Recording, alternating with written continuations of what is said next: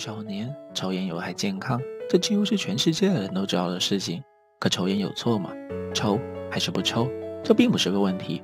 那问题到底是什么呢？不妨你听我说。尼克是一名说客，也是美国烟草协会的高层。他主要工作任务就是让更多的人吸烟，也就是俗称宣传。而这家公司还有着一群法律学者，他们的作用就是钻法律的空子，俗称辩护。可尼克不仅要宣传，同时也需要辩护，因为想找茬的人实在太多了。所以电视台特地邀请了尼克作为嘉宾，还请了一位肺癌的青少年。节目主要内容就是探讨青少年该不该抽烟的问题。而大多数的民众当然是反驳抽烟，尤其是对青少年群体就更不用说了。可尼克却剑走偏锋，将话题转移到了另一个方向。烟草公司主要就是需要客户，如果抽烟容易害死人，那烟草公司就会少一个客户。可社会舆论却天天说抽烟会害死人。就是那些天天喊着禁烟的人，才会想让抽烟的人早点死掉。而有能力在媒体上宣传这些禁烟活动的，几乎都是在做和禁烟有关的利益以及商品。这样一来，话题就扯到了机构利益上。这番谈话角度刁钻，完完全全就是在诡辩。扯完一大堆之后，然后说自己公司要投入大笔预算进行宣传抽烟有害健康。这样一来，观众很多就认为没毛病啊，这是良心企业。而至于宣传如何做呢？那就聘请好莱坞巨星。在一部大片上抽上几口，华丽的烟圈吐两个，帅气的姿势搭配一下，这样一来，销量绝对是蹭蹭蹭的往上涨。可不管尼克的主意出的有多么的优秀，功劳也几乎都是被他的引导拿走。所以闲暇的时候，他总会跟两位朋友吐槽公司的破事，而这两个朋友同样也是在做销售。他们三人卖的东西，其实在道德上似乎真的害死了很多人。可这一切都是为了生活，不然谁会喜欢做这种工作？虽然经济优越，可尼克家庭方面却有点差强人意。妻子已经跟他离婚了，他们有一个儿子。在开家长会的时候，尼克的职业还让所有孩子唏嘘一番，因为几乎所有家长都会告诉他们，吸烟是会害死人的。可尼克并不担心，他走到一位小女孩面前，反问她：“你的母亲职业是什么？医生吗？科学家吗？你为什么不去质疑你母亲的话？她说的就都是对的吗？孩子就该要学会独立思考，敢于质疑才是成长的关键。”谬论就这样出现了。尼克从来不跟你正面说抽烟会不会害死人，但却扯到跟孩子要独立思考。只要他说的这个点被大众认可，小部分的那些反对声音也就被淹没在浪潮中。嘿，你还别说，这些谬论大学生还醍醐灌顶，可老师却看不下去了，只能赶忙阻止。虽然已经离婚了，可对于儿子尼克，他可以说是全心全意的投入。他没有得到儿子的抚养权，但却得到了监视权。他总会告诉儿子一个问题的答案，如果不是唯一。那么你只需要一个论点，只要让别人觉得你对，那么恭喜你，你就是对的。因为这个世界从来就不存在对错，一切不过就是需要合理的论点罢了。所以在母亲不想儿子跟尼克有太多接触的时候，他立马反驳说：“这次即将和父亲去洛杉矶学习是很有用的。父母不都是喜欢儿子能多学点有用的吗？那行，这一趟旅行可学到很多。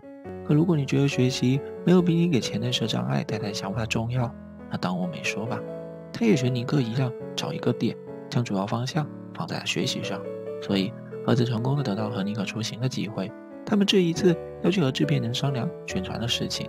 好在对方也很理性，抽烟有没有危害我不管，只要有钱、有利益、有创意，那就能够合作。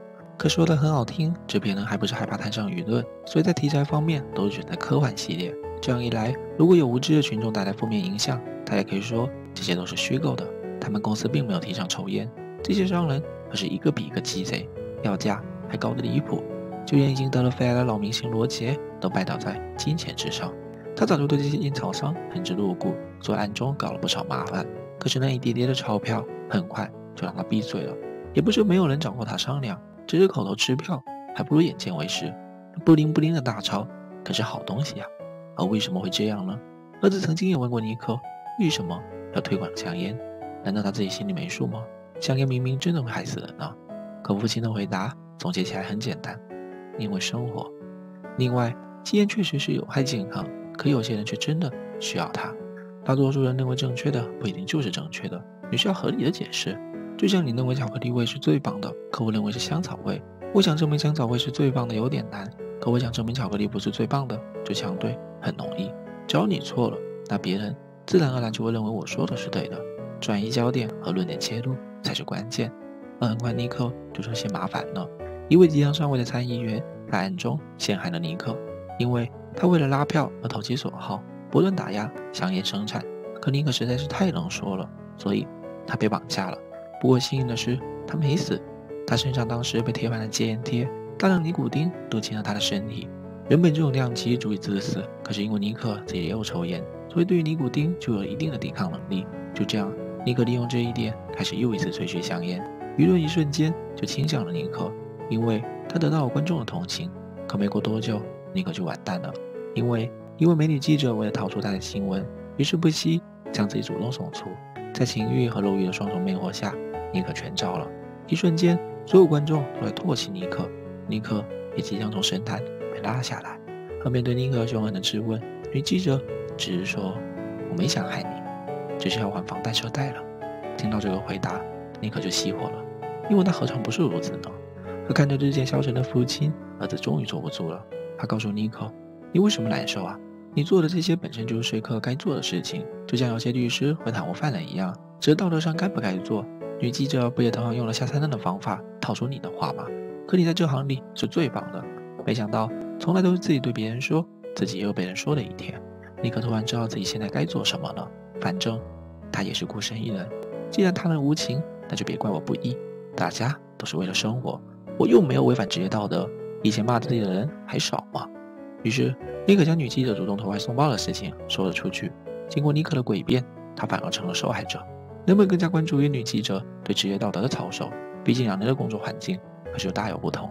矛头一下子就转向了女记者，从而尼克的那些破事就被慢慢的遗忘了。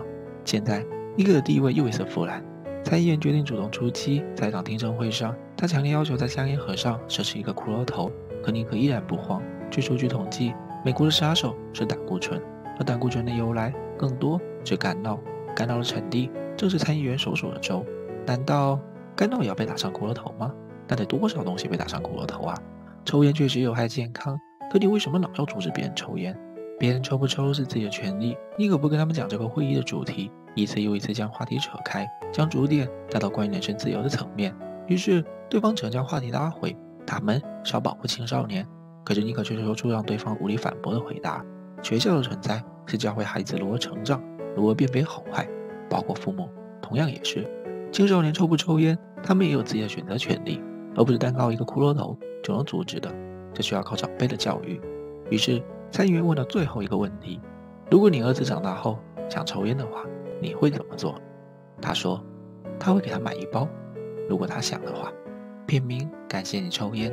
这个世界从来不存在对错，弱肉强食的法则就是在告诉你，高尚的人不一定就不卑鄙，而卑鄙的人就不一定就不高尚。有时候为了生活，你不得不屈膝下跪。而人活在世，虽然追求很多，可几乎所有人都是在完成责任。每个年龄段都该履行的责任。至于如何履行，那就是你选择的权利，也就是人身自由。所谓的道德，不过就是一个精神枷锁，人无完人。